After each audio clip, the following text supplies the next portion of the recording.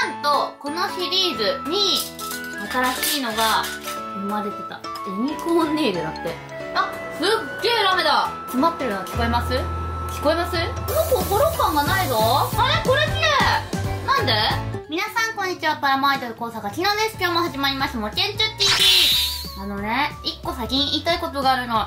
私今、口にマウスピースをつけていて、ちょっと、なんか、あい、あ、じゃあ、い、いの段かなが言えなくって、ちょっと聞きにくいかもしれないんですけど、うん。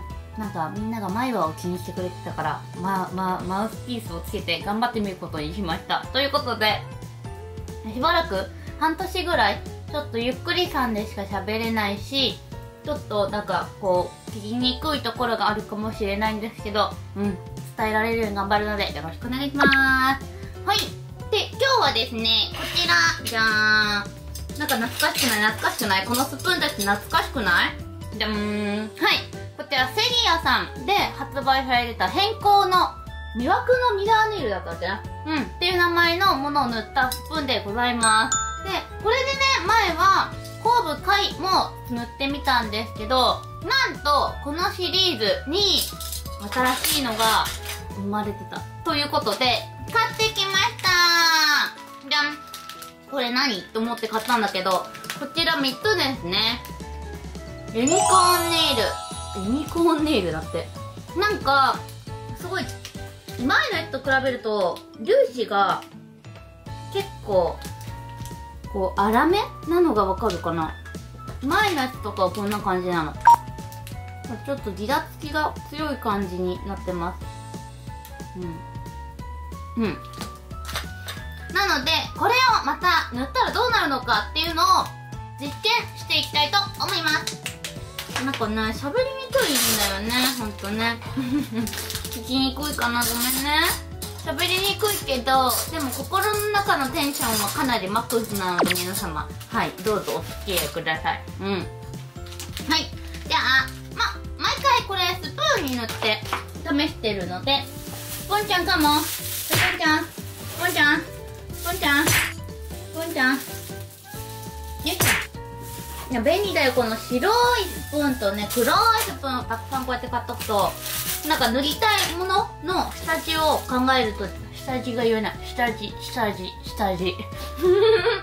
下地をね、考えたりするときに結構便利だったりするので、うん、やってみてください。よし。で、あとはこれをクリアと、この薄め液で溶いて、紙コップに作っていこうと思うので、ちょっと前回と同様ですね。はい。ガイアノーツさんのクリアと、ガイアノーツさんの薄め液、もう汚れてる、を使います。よし。えー、でもどんな色になるんだろうね。うーん。なんか、光の反射で虹色にきらめくみたいなこと書いてあるんで、このユニコーンっぽさがあるんでしょうかね。うん。なんか、あ、なんかすごい色だね。うん。じゃん。これピンクっぽい感じなんだけど、すごいギラギラしてる。うん。まずはこれいきたいと思います。これね、蓋がなんか二重になってたね、確かね。そうそう。こんな感じで。な、なんか紫あ、あ、あ、こうなってく。なんか、すごいね。すごいラメ感。うん。です。で、これを、まあ、ちょっとだけなんで、作って、粉。はい。まだ粉の状態で、クリアをちょっと入れていきます。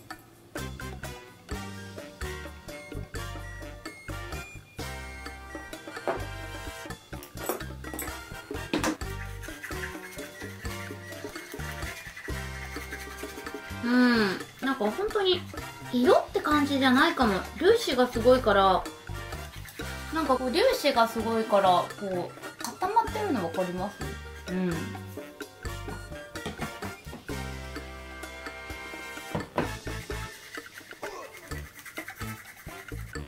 うん。すごいなんかこうメラッと、メラメラっとしています。うーん。これはこのまま塗っていいか、もっと方が良さそうな気もするけどな。塗ってみ味はわからんよね塗ってみますねうんうんでは、拭いていきたいと思います。うわ、沈殿がすごい。うん、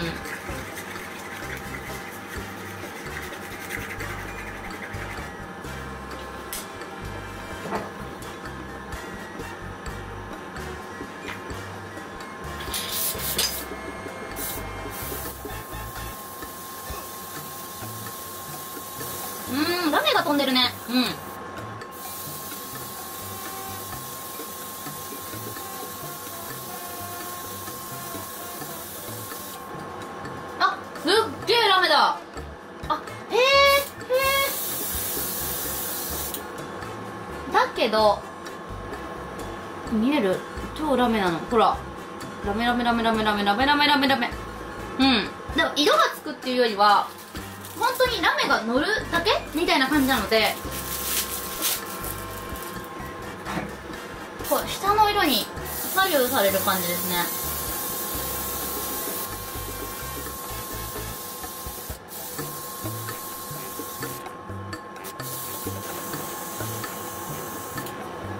うん。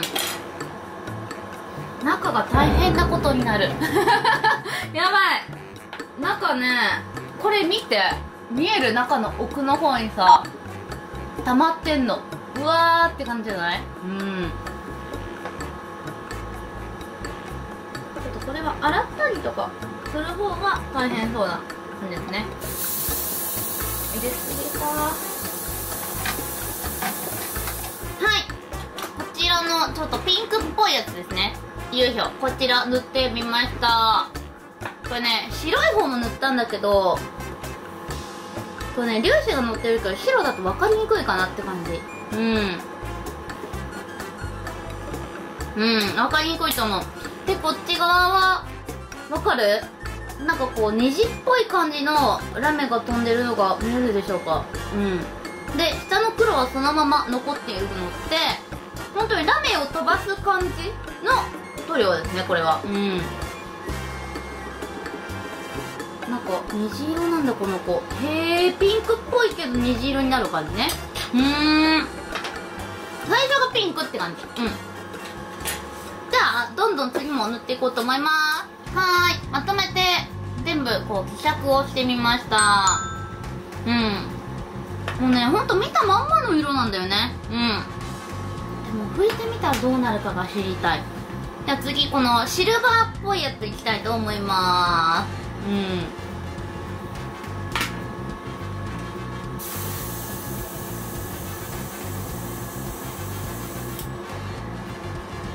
うん。沈殿がすごい。今こうやって回しただけじゃ全然ダメで。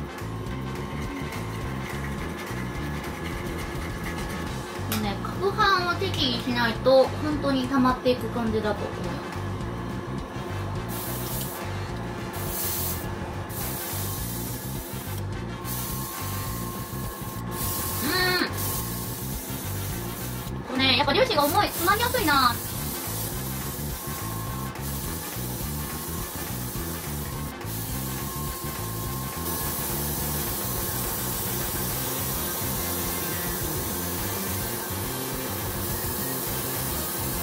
詰まってるの聞こえます？聞こえます？詰まってるの分かります？でも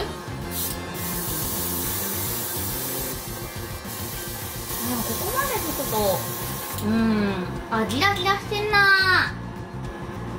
こんなんだーん。こうシルバーなんだけど角度によってこうね虹色が入る感じになってますね。うん。うーん。うん。なんかスタート地点がピンクなのかシルバーなのかぐらいで基本はなんかこうね。虹色になっていくっぽいですね。うん。次はい。次こちら。はーい。ちょっと黒っぽいやつ。これがねもしかしたらいいんじゃないかと思ってるんですよ。うん。で特に今から黒に塗るので近しい色に塗っていく方が多分雰囲気出るんじゃないかなと思うんですよね。でこれ見て。混ぜてちょっとだったらこうこべりつくぐらいこべりつくぐらいのこうなんか沈殿栗、う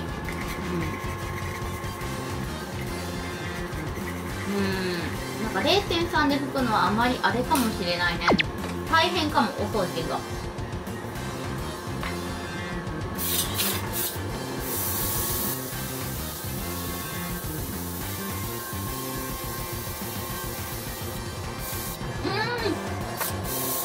まりがちやわ。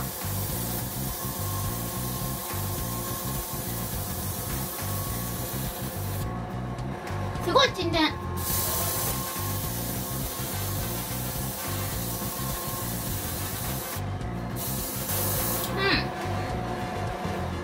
はい吹いてみました。じゃーんん？なんか思ってたのと違う。な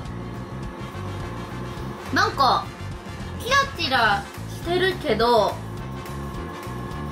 なんかさっきみたいなネジっぽいやつはないかも。え黒い虹だったらいいのになと思ったのに全然鈍い感じですね。うん。こう元のあのプラスチックの黒色は別なのでこのね見えんのかな。この粒子があるぐらいなのよ。うん。あんまりこうなんかうん。うーんって感じよね。うん。でもさっきまでの子たちはこうねまあ、粒子の大きさはあれなんだけどこっちピンクがかっててでこっちがシルバーがかってるじゃないですか。でちょっとこう角度でこうね虹っぽくなる感じホロっぽい感じはこの子たちはするんですけどうーん。なんか違う種類なんですかね。うん。だからその黒と一緒に入ってたちょっと藍色みたいな子を使ってみます。固まり方がさっきの黒よりはちょっと固まってないのでもしかしたら粒子が黒は大きいのかもしれないですね。うん。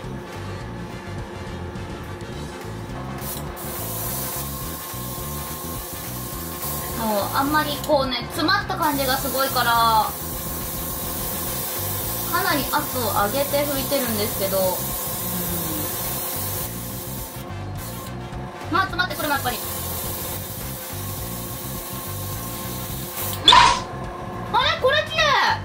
なんで？粒子サイズの問題なのかしらあいい色綺麗。すごいこれ綺麗だよ。ほら。下地の黒がね効いてるのかな。めっちゃミラミラしてる。なんでこの子そんなミラーにならなかった？やっぱなんか粒子ができてない気がする。からうーん。でもこの藍色もいい感じ。このねこのキラキラした感じ綺麗だよね。うんうーん。うーん今度はまた別の袋いきます。でこちら。ちょっと黄色とオレンジみたいな感じなんですけどオレンジの方からいこうかなと思います。あやばい。これも沈殿しがちだな。うーん。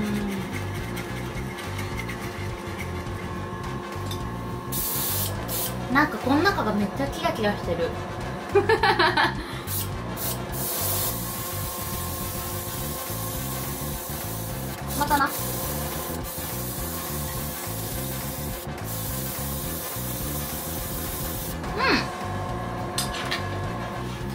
オレンジっちじゃーん。はいオレンジですね。うん。やっぱスタートがオレンジなだけでほらオレンジ感ある？うん。スタートはオレンジなんだけどこうね角度でちょっとホロっぽい感じになってます。うん。まあね見比べると結構オレンジ感あるんだけどね。まあ最後の方に出します。でもう一個は黄色ですね。はい。かなり黄色いですこれは。溜まってるんだよな。すごい溜まってるのよこの中で。すごい。重たいんだろうな。いきまーす。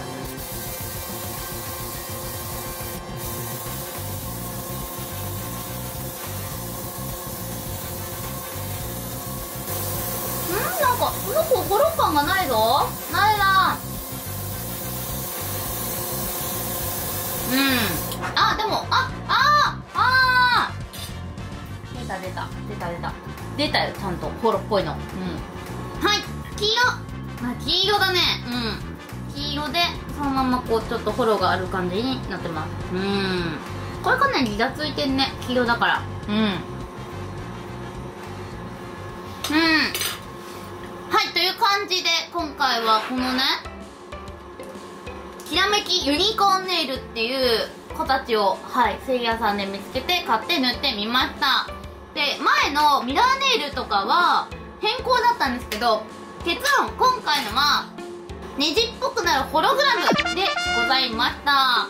でそれでパッと見たまんまの色合い。このピンクならピンクとか黄色なら黄色とかのこのままのホログラムになっていてで下地は全然透けてくるのって自分の塗りたい色。まあピンクだったらそのピンク系統の色とかの上とか紫の上とか塗ったら綺麗なんじゃないかなとか思いますしゴールドだったら武器とかね。うん。ゴールドのところに塗ったりとかっていうのもいいかなと思います。で一番私のお気に入りはこの青かな。ちょっと青っぽいというか白っぽいというかみたいな子なんですけど。うん。このね青のねなんだろう涼しげな感じが結構使えそうだなと思いました。うん。でどうしても粒子がでかいのでなんかこうやって黒みたいに詰まって出てこない子とかもいたわけですよ。ね多分これも黒だったんだろうな。うん。そう。なので、まあ、0.3で今回拭いてみたんですけど0.3のハンドピースだとちょっと物足りないかなっていうところがあるのでコンプレッサーの圧を強くしてやってもらうかもう0.5とかね大きめの口径のエアブラシを使うかでしてもらう方がいいのかなと思いました。うん。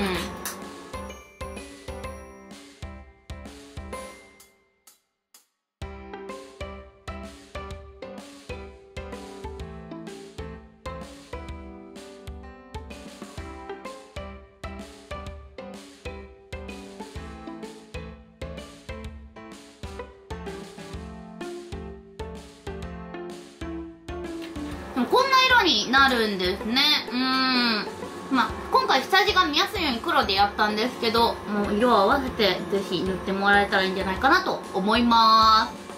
はいこんな感じでねセリアさんはねなんかこう安いのに面白いこう塗料とかそういうの作ってくれてるのでまたちょこちょこ見つけたら実験して皆さんにお伝えしたいなと思います。ということでなんか使えそうだなとかこういう塗料なんだって思った方はぜひグッドボタンお願いします。で実際に塗ってる方とかでなんかこういう塗り方がおすすめですっていうのもあったら皆さんに教えていただけたら嬉しいなと思うのでそちらもお願いします。ということで以上もちんちゅ TV でした。ちょっとね声が聞きづらくて申し訳ないんですがもうちょっと私も慣れてくると喋れると思うのでお付き合いください。やばいな。本当にでも喋れない。うん。ということでお付き合いくださいませ。バイ